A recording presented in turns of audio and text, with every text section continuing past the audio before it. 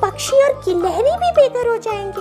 Please हमारे घर को हमसे मत छीनो। लेकिन अरे सुनो सुनो। अगर तुम मेरे पेड़ को नहीं काटोगे ना तो मैं तुम्हारी अगली तीन इच्छाएँ पूरी कर दूँगी। क्या? सच में? हाँ अगर तुम मेरे घर मेरे पेड़ को छोड़ दोगे ना तो मैं तुम्हारी अगली तीन इच्छाएँ पूरी करूँगी। ये एक परी का वादा है।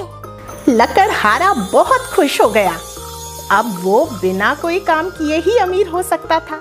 उसने परी की बात झटपट मान ली। चलो ठीक है। अब तुम इतना ज़ोर दे के कहती हो तो मैं पेड़ नहीं काटूँगा। ओह तुम बहुत दयालु हो। लेकिन मेरी सच में तीन इच्छाएँ पूरी होगी ना? आ, देखो एब्राकाडेब्रा छू छू छू। तुम्हारी अगली तीन इच्छाएँ पूरी करूँ रू रू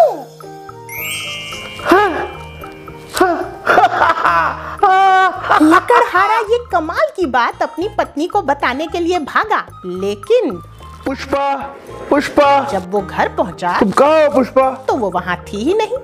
पुष्पा। ओह मुझे बहुत भूख लगी है। काश मेरे पास खाने के लिए एक केला होता। ओह केला? हाँ, अरे बड़ी जल्दी घर आ गए क्या हुआ? और ये केला कहाँ से मिला? अरे तुम ऐसे मुस्कुरा क्यों रहे हो?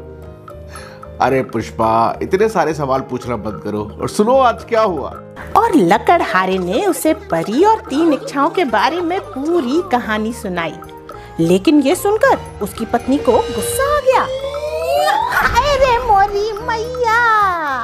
अरे तुम कुछ भी कुछ भी मांग सकते थे और केला मांगकर अपनी पहली इच्छा गवा दी। अरे हाँ ये मैंने क्या किया? तुम तो इतने मूर्ख हो इतने मूर्ख हो कि तुम्हारी अगली इच्छा ये होगी कि ये बेकार सा केला तुम्हारे मुँह पे चिपक जाए। पुष्पा गुस्से में कुछ भी कह रही हो। मेरी इच्छा है कि ये केला मेरे मुँह पे चिपक जाए। ऐसा कैसे हो सकता है? जैसे ही लकड़हारे ने ये कहा केला सचमुच उसके मुँह पे चिपक गया।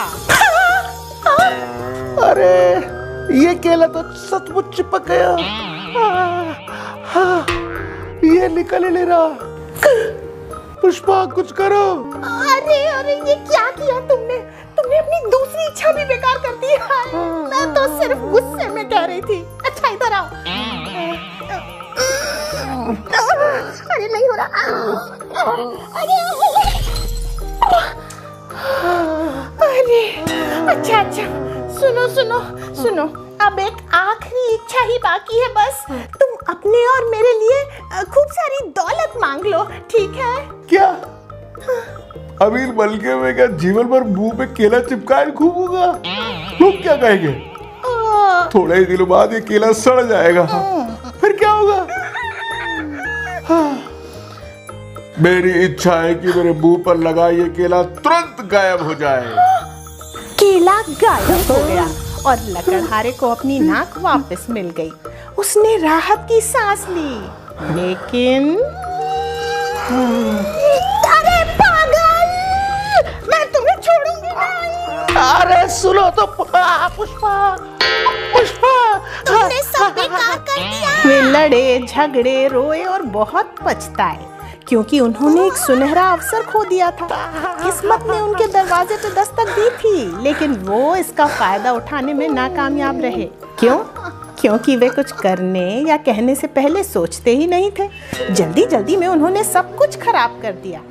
वो कहते हैं ना, झटपट की घानी, आधा तेल, आधा पानी। हम्म तो बताओ, ये कहानी कैसी लगी तुम्हें? बहुत अच्छी लगी, नानी। अब मैं कभी भी जल्दीबाजी नहीं करूँगी। परी का वादा हाँ? बहुत बढ़िया।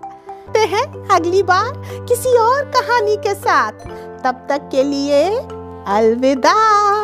अपना ध्यान रखना और हर काम को उसका सही समय देना। हम्म?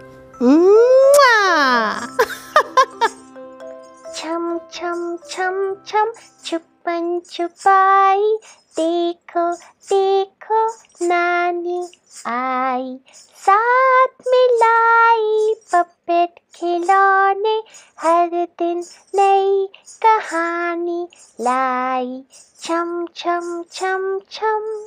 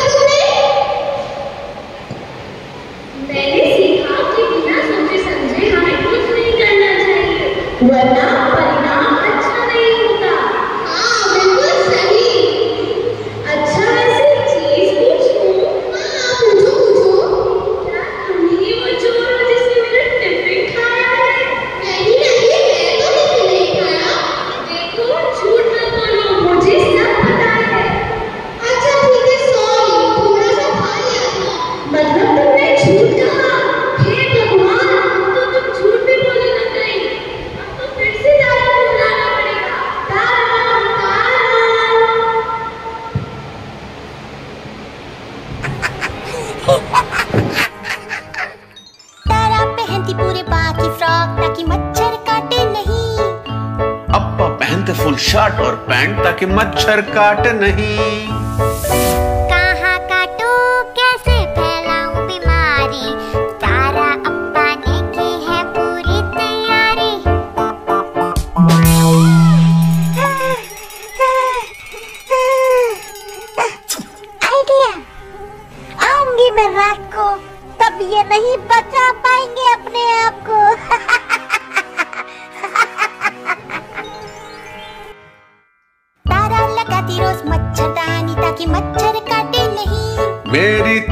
सो रही है उसे मच्छर काट नहीं। कहाँ से घुसूं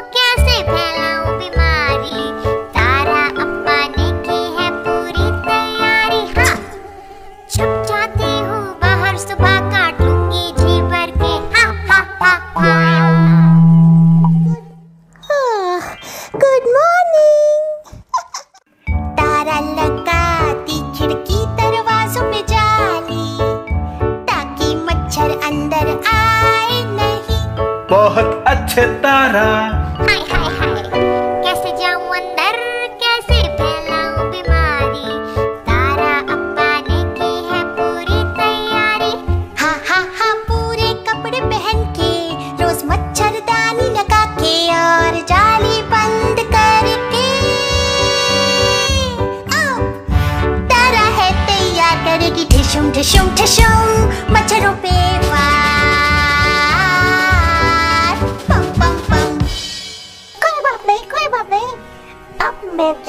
उनके पास जो नहीं है तारा की तरह तैयार। टीम तारा मच्छर आ रहे हैं। क्या तुम सब हो तैयार? टीम तारा है तैयार।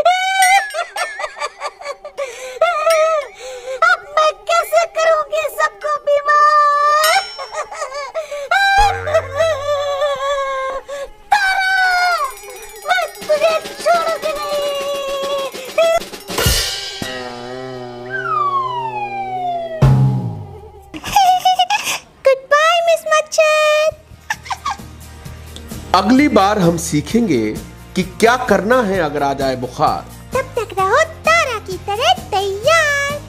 Bye bye